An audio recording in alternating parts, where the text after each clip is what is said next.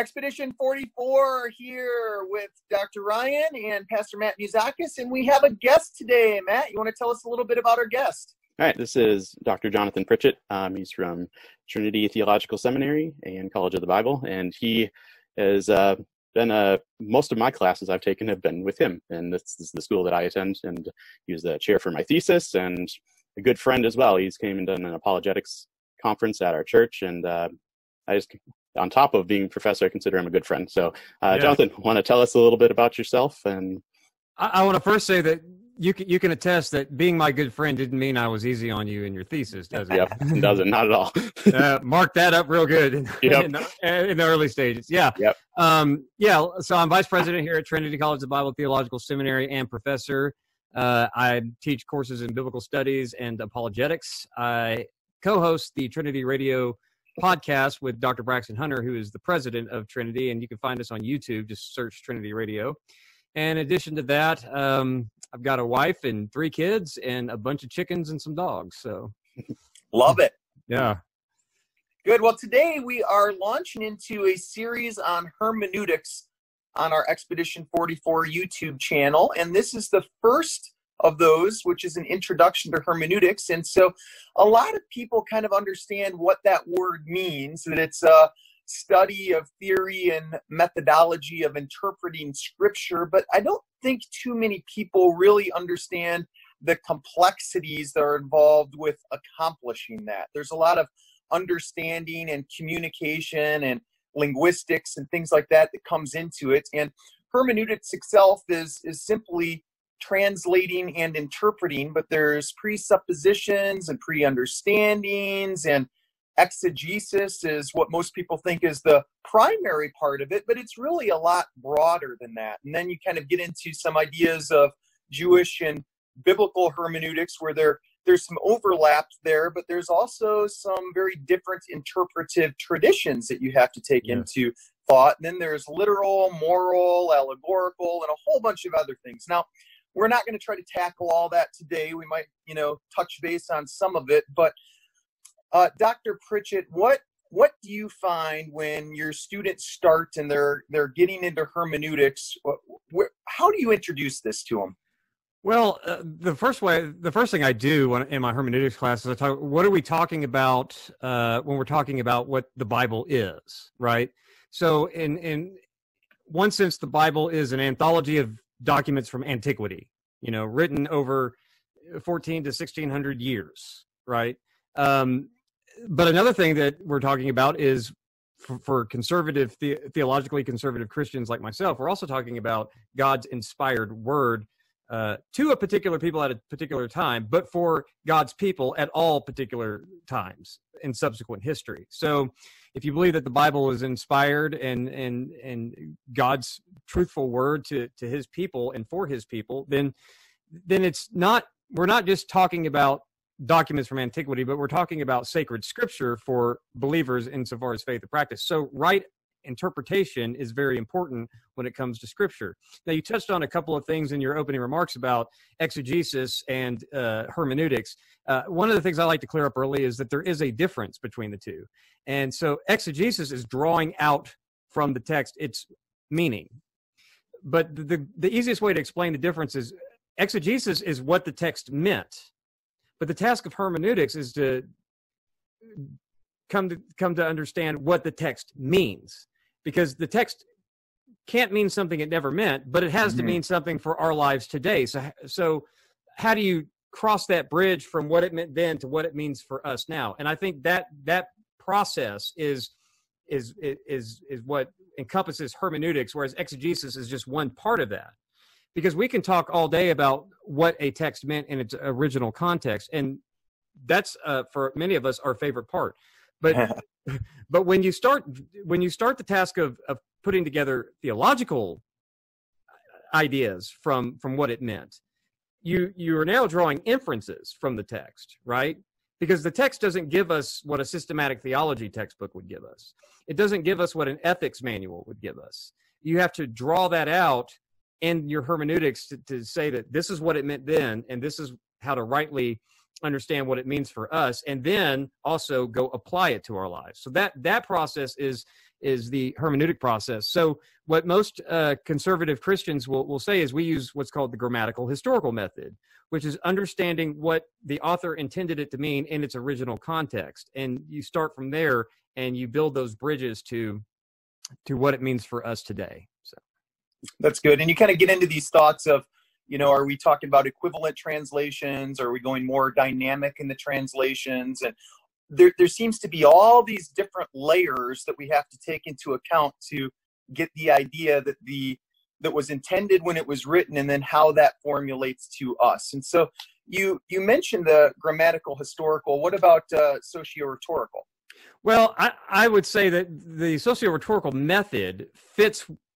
pretty well within um, grammatical historical or grammatical historical is a theologically conservative to- coined term that's essentially has the same goal as what is called historical criticism. It's just that historical criticism um, is has a different set of starting presuppositions. Those who, who do historical criticism uh, under that banner do not treat the Bible as God's word. They just treat it like any other historical document. They presuppose naturalism as a methodology, even if even if they are Christians um, they don't interpret it as a Christian for the purposes of, of, their vocational work or whatever. So, yeah. grammatical historical hermeneutics differs from that in the starting presuppositions, but how it plays out, you're still trying to understand the how the original author, uh, what he meant, what he intended by his text, and what um, what his original audience would have understood. Um, and that's what historical criticism tries to do as well, but just from a different starting place. And so they you can't come to different conclusions. But okay. socio socio rhetorical uh, criticism, and I know the word criticism sometimes throws people. It's not. It's not like you're being harsh or critical. Uh, uh is just the term that we use for unpacking things. Um, the, the socio-rhetorical method fits within that, but I think that the method uh, also shores up some of the shortcomings of the historical criticism uh, and and or from the conservative side the grammatical historical. Because in the grammatical historical uh, approach one of the shortcomings is sometimes we can overemphasize grammar to the neglect of the historical part. But but also within just saying historical historical tends to deal with trivia and facts of of the ancient world data things that you can find on wikipedia but what it doesn't do is it doesn't give you the the mental categories and the philosophical categories and what we call the sociocultural categories of not just what happened in the past, but how people thought in the past at particular times, at particular places. What was their worldview like, and how do you reconstruct that? And I think the socio-rhetorical method, because of the way it's designed, is set up to uh, keep you on at least according to the, the person who originated the model uh, his name a lot of things fly under the banner of socio-rhetorical interpretation now but the, the person who originated the model uh, his name is vernon robbins. He's at um, emory. He he has five textures that that he in the interpretive process that you go through with any passage. And then um, william brosend introduced a sixth texture um, at a meeting of the Society of Biblical Literature that got Robbins' blessing. So you have six textures or layers by which you go through a text to make sure you draw out all the the nuance. And, and, and this is kind of like a device of interpretation or maybe a, a formulation of understanding the text. Yeah, it's it, well, it's it's just another method. There's a lot of, I mean, you, you have postmodern hermeneutics, you have feminist hermeneutics, you've got li- liberation hermeneutics. There's there's all kinds of different different things out there, but this one fits more is not a deconstructive uh, sort of hermeneutic method. It, it's more in line with the historical criticism method. It's just okay. It's just casting its its its uh, net a little bit wider to make sure you can get the fullest impact of any text and understand what it meant, and then that helps us to draw in what it means for us. So I, am a fan of the method. Um, like all methods, it can be abused. There's uh, conservative biblical scholars and liberal biblical scholars who use this method, and they do come to different conclusions. But again, that's that's dependent on their starting points, not necessarily the method itself, if that makes sense. But you also mentioned translations, and it's important to say that translations are also interpretations, and you mm-hmm. have different kinds. You have word for word, thought for thought, and there's a spectrum, you know. And I, some of us favor the more uh, literal translations, but that can be misleading as well because some of the nuances of figures of speech and so forth get lost in trying to be too word for word, whereas thought for thought or taking a little bit of license to communicate an idiom or an expression in a contemporary way that that fits with what it meant in the original, but is worded differently in our text so that we can understand what he was actually saying is Yeah. actually is actually better than using um, uh, a word for word in in those cases. That's why there's a spectrum, and you want to find somewhere on the spectrum that that leans more towards word for word, but not at the expense of understanding the meaning that was in, in, that at least the translation committee thinks was intended by that.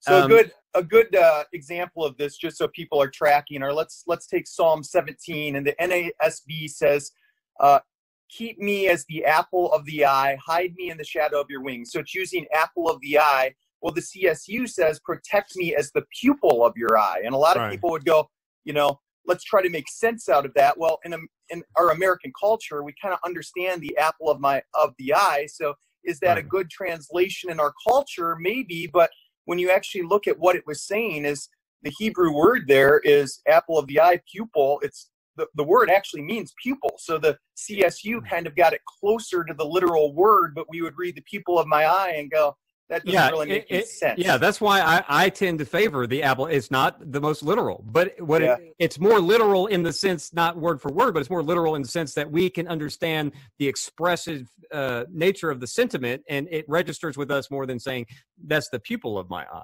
Right, Because what it's right. saying, what- it's pu- apple of my eye is center of attention, center of focus.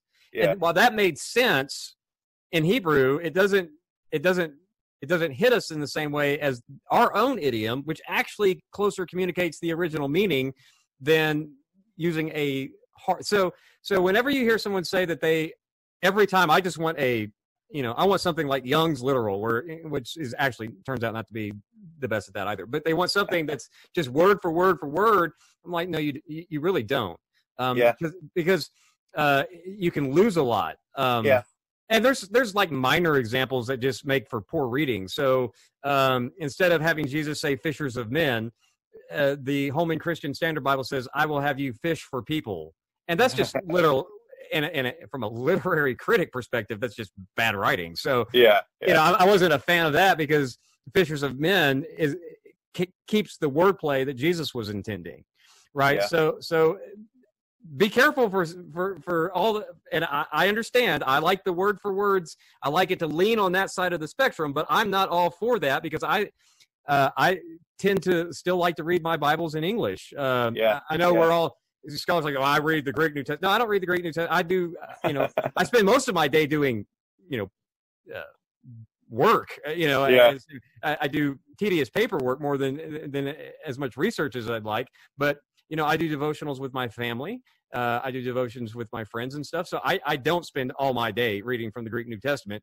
And admittedly, my Hebrew gets worse every year. So it's and like, even if you understand Greek and Hebrew, I mean, even if you say you know it really well, you're still going to have a hard time with the cultural part of that. You know, the understanding of what what it meant within that language. You alluded to a wordplay there, like Yeah. you know, I- I'm pretty good at Hebrew, not very good at Greek, and I and I look at that, and so many times, you know, you're you're going to miss the cultural part there if you're just trying to literally translate and i almost get to the point where where people are so stuck on the literal i almost want to throw a book at them every time they say Yeah. that well, uh, uh, the history of the church shows that that that even the best uh, uh, uh, scholars, people who know the biblical languages far better than than I do, uh, can eisegete uh, and misinterpret the Greek and Hebrew as bad as uh, you can in English or Spanish or any translated receptor language. I mean, people can butcher the Bible in any language, including the original. So knowing Greek and Hebrew doesn't that that doesn't mean that that you know what that text is talking about. Because if you don't know the sociocultural data,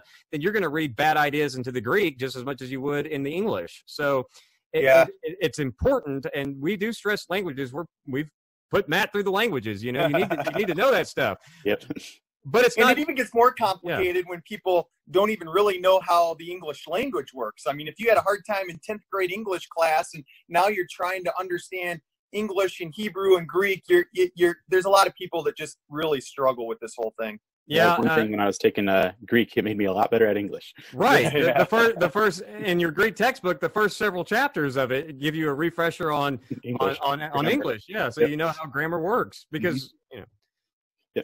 So going back to the cultural stuff and how important that was, that's one thing you stressed over and over in your hermeneutics class and Yeah. even in our New Testament backgrounds. Um, book you recommended, I think it was one of our textbooks, Honor, Patronage, Kinship, and Yes. Purity. One of the one of the best books I've ever read.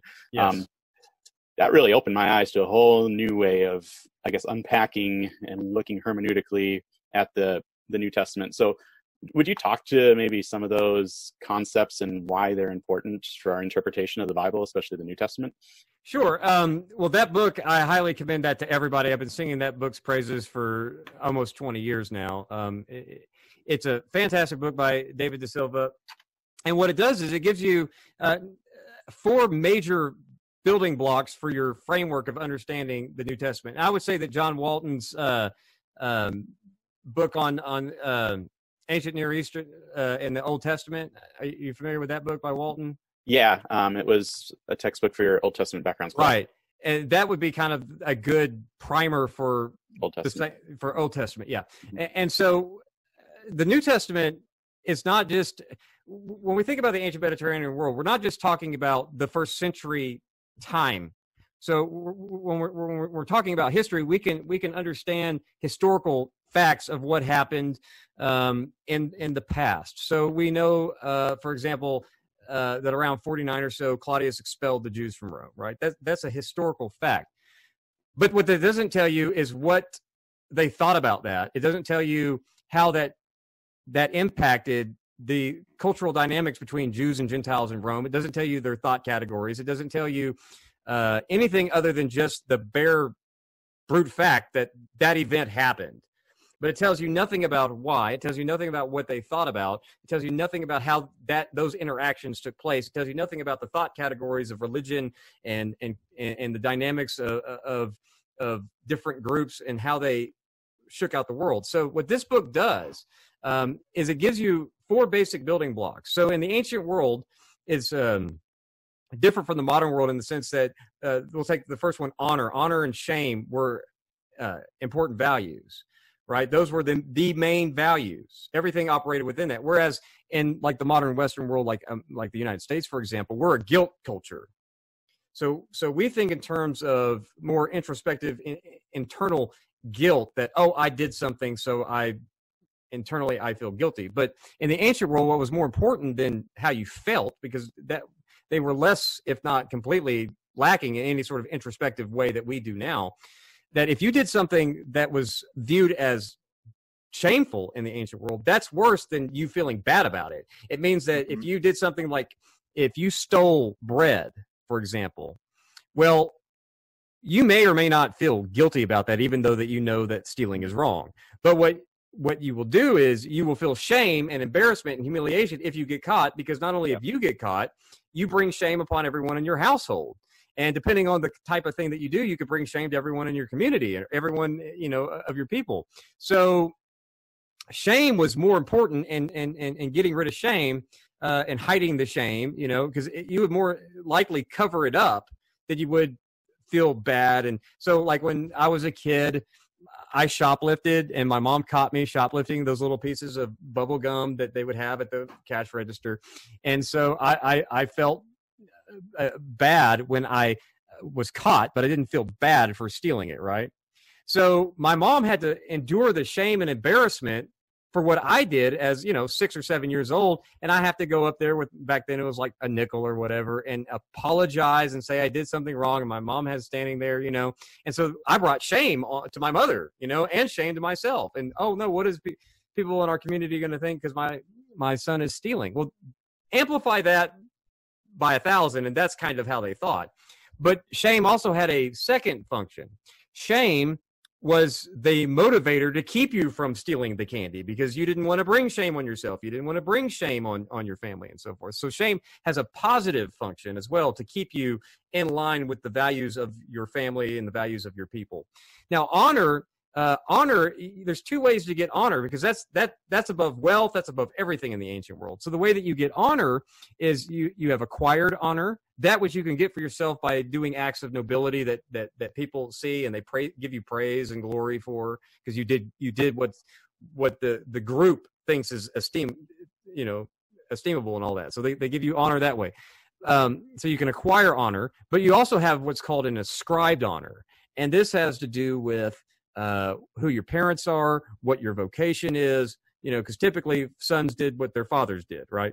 Uh, so, what city you were born in. So, when it's asked of Jesus, can anything good come from Nazareth? What's happening there is that the overall sentiment for people who are not from Nazareth think that that's there's nothing good there, and that that that reputation goes for everyone who's who's there, whether they're honorable or not.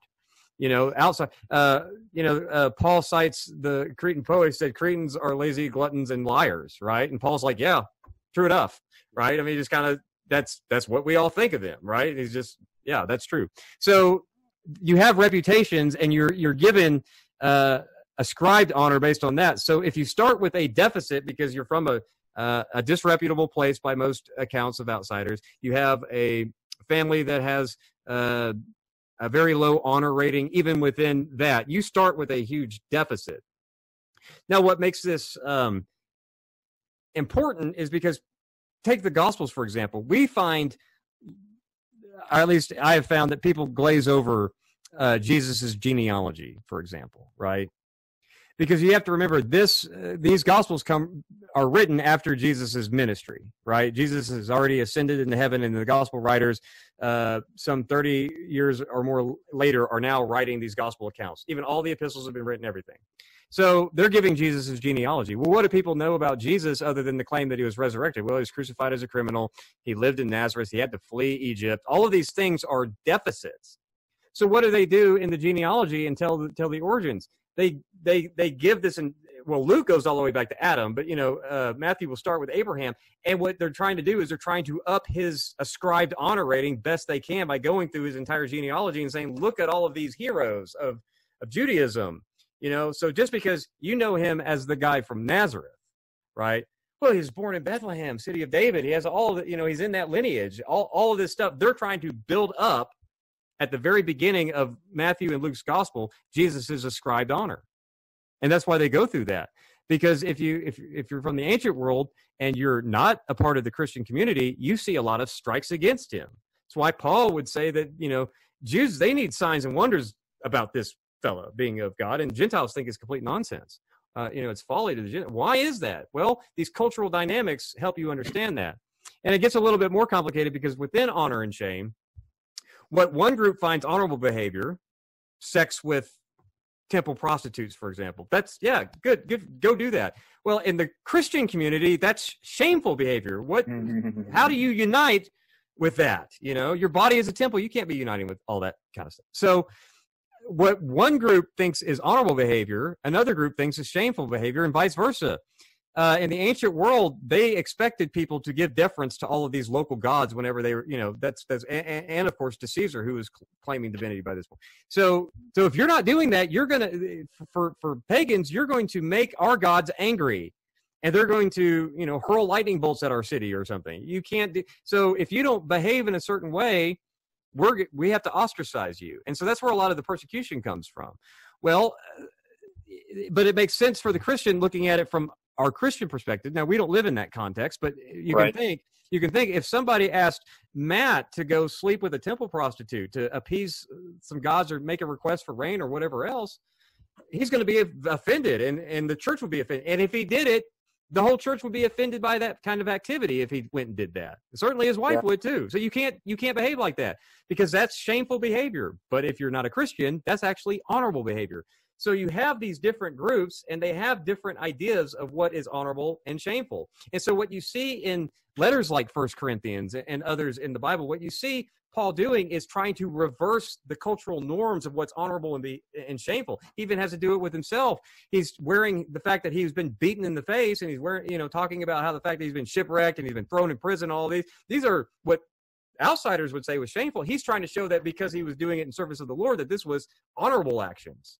So, and we kind of we kind of get lucky with the New yeah. Testament because it covers a relatively short span of time, and it's kind of a circular view that way. We only have to cover 70 years. And although there are different cultures within the New Testament, as you very strongly alluded to, you get into the Old Testament and you know you start getting into hebrew and looking into the the fuller ages and you know not to be confused yeah. with dispensationalism but there's you know a lot broader of a section you have to try to wrap your your arms around so to speak right and one of the things we have to uh, hammer home to people that the Jewish thought of the first century is not like Jewish thought of Isaiah, which is not like Jewish thought. Right.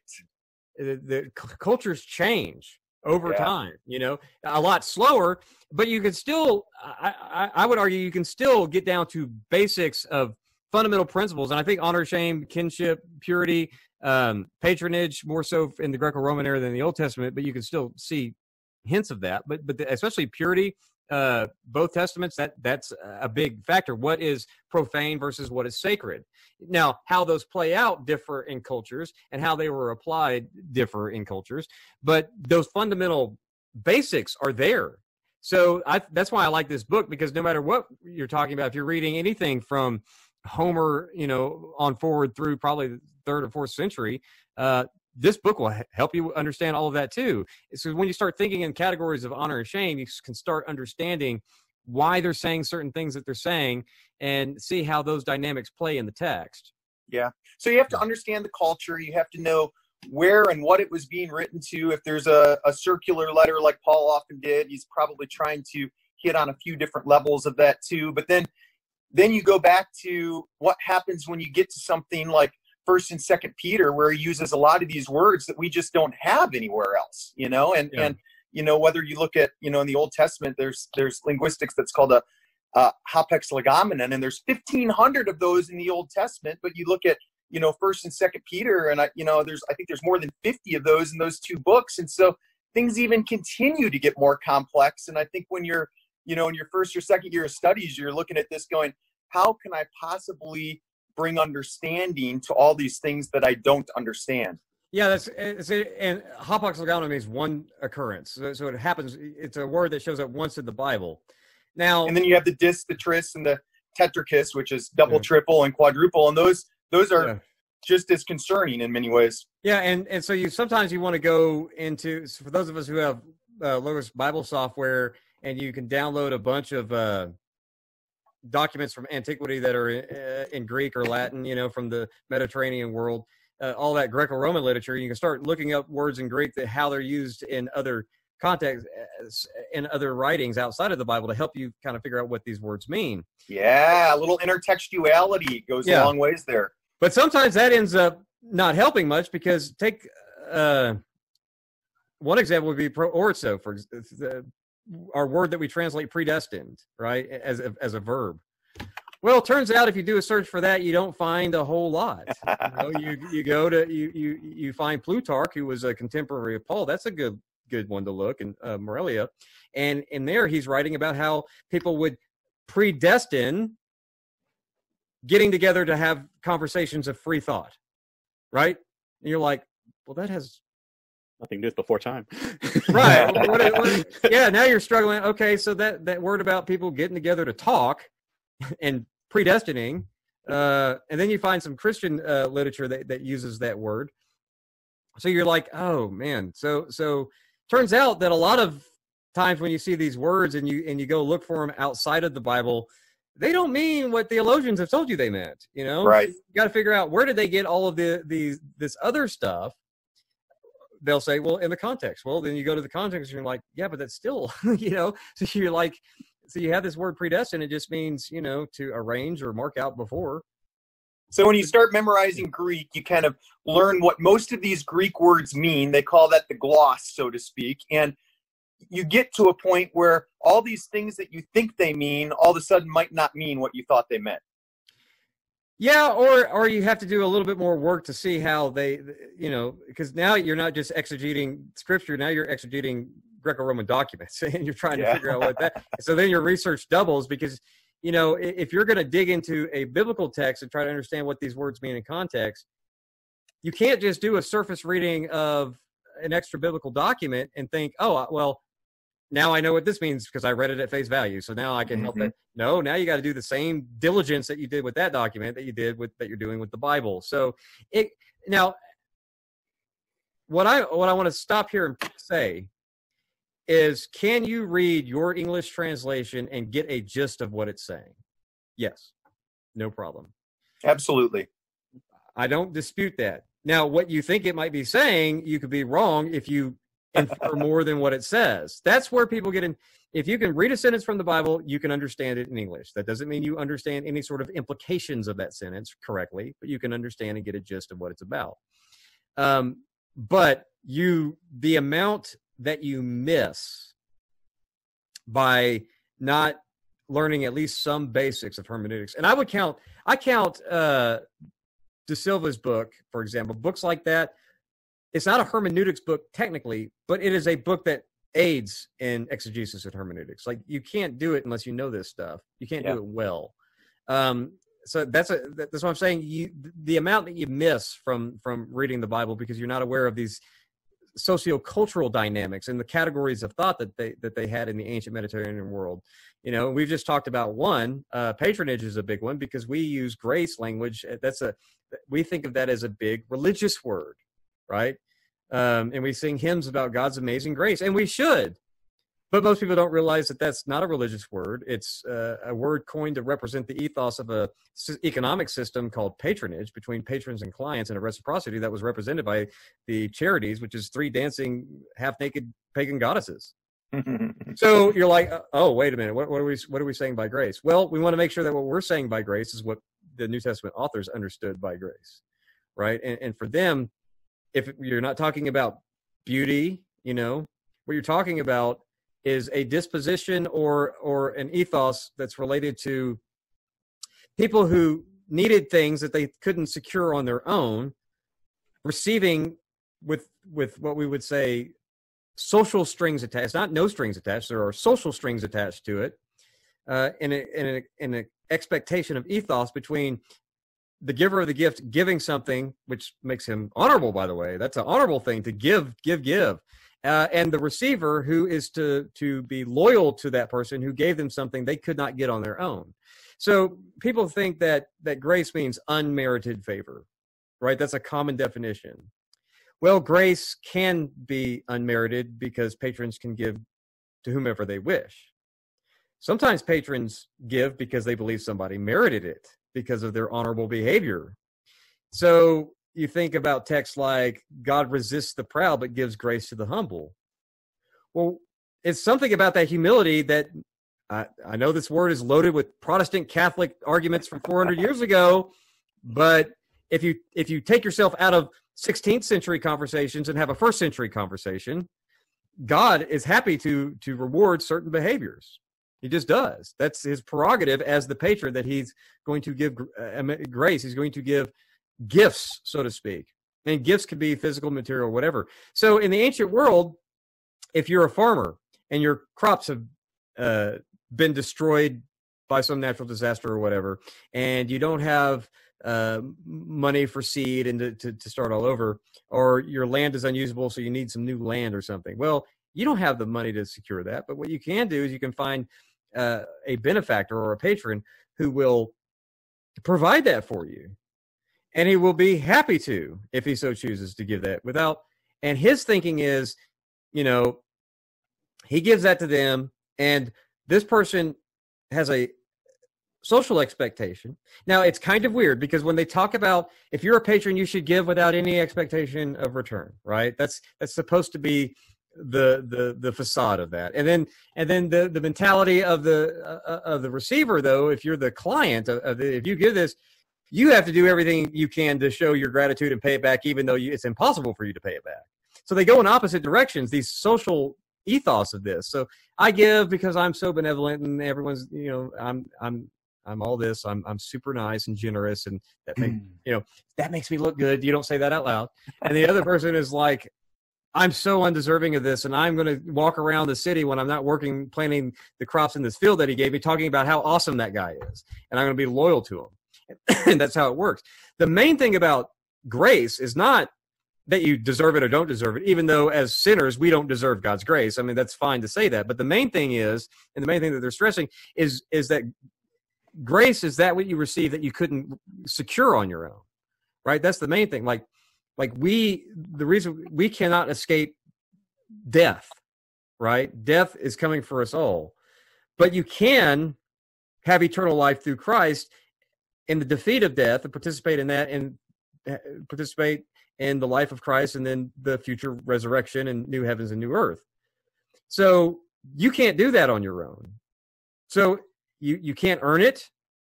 You know, we think about the wages of sin is death. Wages is economic language, right?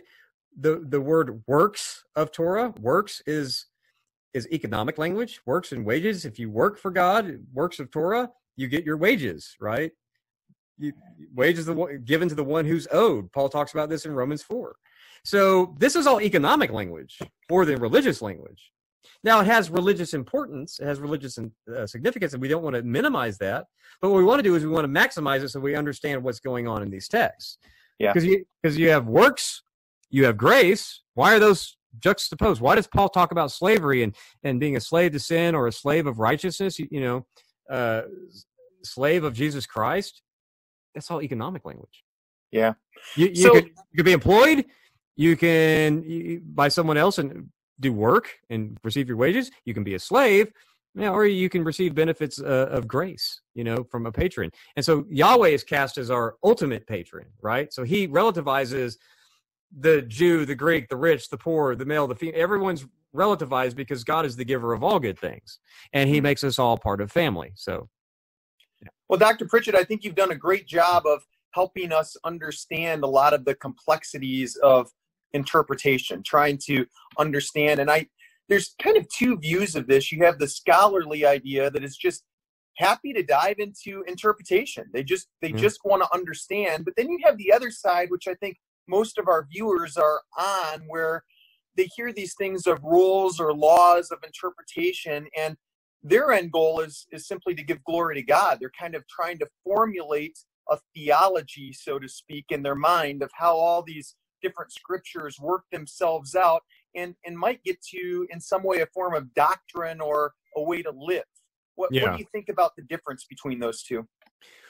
Well, eh, to try to understand theological implications, for those of us who are in the socio rhetorical school of, of interpretation, that um, is the fifth texture. That's for so for people like Matt and I, there's four other things that we go through before we start with that, right? To make Yeah. sure that that's right. And I think it's it's good that that comes last.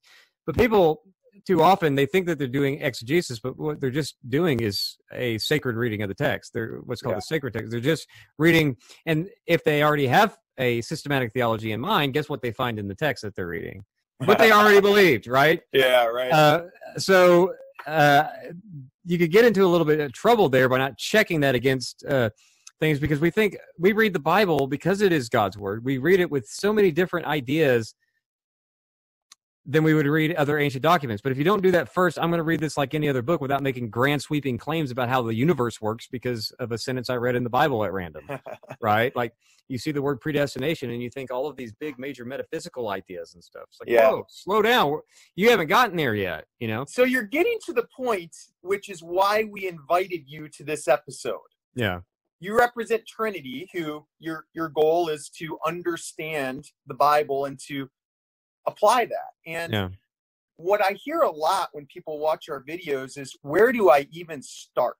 You know, I you guys are talking about this stuff. Do I need to learn Greek? Do I need to learn Hebrew? You know, uh, God is the most important thing in my life, and I want to understand this relational word that He gave us. So, how do we possibly do that? And what you're doing is you're you're essentially putting your life and your your career and everything answering that question for people. So, where what's your advice to somebody who who legitimately wants this to be the focus of their life? Yeah. Here's the good news. Even though what I'm saying sounds complicated, you can get it. You can you can understand everything you need to know by reading three books. Three books. We've mentioned two of them already, and then I would say just read How to Read God's Word for All It's Worth, or How to Read the Bible for All It's Worth by Yep. uh, Stuart and Fee, and then add- add that uh, Walton's book, uh, which I recommend last. Um, actually, I know I love the Old Testament, but I think I think it's easier to start with the New Testament. Yeah, and we've Uh, had Walton on the show as well too, and Yeah. we're big fans of all of his work. So I would read How to Read the Bible for All It's Worth. Then I would read um, De Silva's book, and then I'd read Walton's book, the one that we recommended earlier. And if you so Christians are people of the book. You don't need to go learn Greek. You don't need to learn Hebrew. You don't need to have a a, a theological degree to understand your Bible. But if you want to go deeper than just reading your Bible, okay, I you're going to have to read other books. There's no way around that. But if you like to read your Bible, then you like to read. So go read these other books um, because they will help you. Those those three books is I think is all most lay people would need to invest in. Um, we're talking about three books. They're all what less than 300 pages. Yeah. So yeah, so um, you could knock that out in three months. You know, and and you will have invest. And in fact, y'all should just teach in local churches. You should do a book study and and and study these books you know um, that's one of the things that we emphasize in, in all of our classes here is don't just learn this for you we we give our powerpoints presentations to our students and say take this modify it change it do whatever go teach it to your churches because it, it's it can't and it it can't be just for your own edification it's got to be for the benefit of others if theological education is only benefiting you then go to another seminary where you can entertain yourself. But this is for this is for this is for building up the church because not everyone gets to go to seminary, right? Yeah. Not everyone gets to learn Greek and Hebrew. Um, but that's and fine. so lastly tell us a little bit about what trinity does and how that might be shaped a little bit differently than uh, what you're recommending to the normal person well, uh, Trinity, we uh, depends on the degree program, but in the biblical studies department, we focus on exegesis and hermeneutics in every biblical studies course. They're all designed to help you get more out of the biblical text. So when we're talking about the backgrounds of the New Testament, we're talking about the backgrounds of the Old Testament. We're talking about intertextuality and uh, the the the New Testament use of the Old Testament. Uh, we talk about primary source studies and how ancient documents from from the ancient Near Eastern world and the ancient Mediterranean world, how those help fill in our understanding of scripture. So non-canonical books, you know, also play a big role, especially uh, Greco-Roman literature and Second Temple Judaism, Judaism how, how, how all those, those Jewish writings, the Apocrypha, the Pseudepigrapha, how those help us understand the the soup of, of the ancient world that the Bible is speaking into. You know, it's it's just and where the bible fits in it how is it similar to these other things? Where do they differ? What are the contrasts? What are they what are they speaking to try to align people to their side? What are they rejecting that's common in in in in their audiences you know in their jewish opponent their greco-roman opponents you know? Uh, to die is to gain paul says. Well he's echoing plato there right from from the apology. So you get these intertextuality and it's not just well, what did the New Testament people say about Old Testament Bible verses? No, that's it's, it's bigger than that. Um, it's it's way bigger than that. It's it's also these other, uh, not just the things in like Acts 17. You know, is a familiar one where Paul uh, quotes pagan poets and all that. No, that stuff's littered in there. You know, and and so we go through all of that. Um, but that's just because we're nerds. That's what we're supposed to do in, in, in seminary is go for all that. But uh, one of the things that we stress at Trinity is is you get to learn all of this really fascinating stuff, but you don't get to keep it to yourself because at Trinity we are big on all of our students being active local church members and teaching others what they are learning. You know, don't hoard it for yourselves. If people in the church that are listening to this that are not seminarians, the good news is go to a church with people who are willing to teach you this stuff if you want to learn it and help you go through books like the ones that we mentioned so that you can be a better reader of your own Bible that you love to read. And I, I want people who love to read their Bible to get more, not less out of it. So that's where we get to assist those. Now, not everyone in the church is interested in that, and I want to say I want to say a word of defense of those people too. You don't have to. You don't have to. If you're happy, just listening to your YouVersion audio i'm with you i listen to the bible app myself probably as much as i read my text you know. If you're fine with that that's fine too. I'm not going to knock people that don't want to uh, do in-depth bible studies and that all of a sudden cuts out their devotional reading because one of the things that i stress at trinity is don't give up your devotional stuff. That you know your your personal time with god is just as important. And for some, for a lot of people that's fine. For a lot of people that's not fine. They want to know more. They just don't know how to get more. Mm-hmm. but, but, they don't have to come to seminary either because they have people like you guys who are there who, who should be there and i think you that you are uh, who are there to help go through these other types of books that we recommend. So so yeah, that, I mean that's what we do at Trinity. Our focus is oh, the the the end of all Trinity is to glorify God through the church. That's what we want to do. We want to edify the church uh, with our student body. We don't want to just entertain people who have an intellectual itch to scratch. Great. Well, Dr. Pritchett, thank you for what you do. Thank you for joining yeah. us on our show today. Really appreciate uh, everything you added to our intro launch on hermeneutics. Pastor Matt, thanks as well for uh, for making this this episode, and we're looking forward to the future episode on interpretation and hermeneutics. If you want to hear uh, learn more about Trinity, trinitysem.edu. Is that correct, Johnathan? Yes. Yep. And can't you audit courses also? Do you still have that?